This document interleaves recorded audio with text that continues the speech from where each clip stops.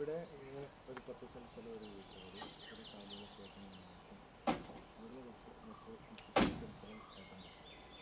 അപ്പോൾ അവിടെ ഏറെക്കുറെ ഇത് ഐ വണ്ണുണ്ട് ഇത്ര വണ്ണം തന്നെ ഉണ്ട് ഒരു ചന്ദനം